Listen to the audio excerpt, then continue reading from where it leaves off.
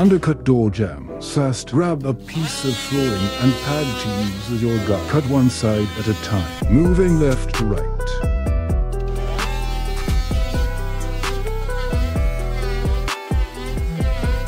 Cut a few inches into the base to allow your cut to fit easily. Clean debris and vacuum. And make sure you always keep your blade fresh.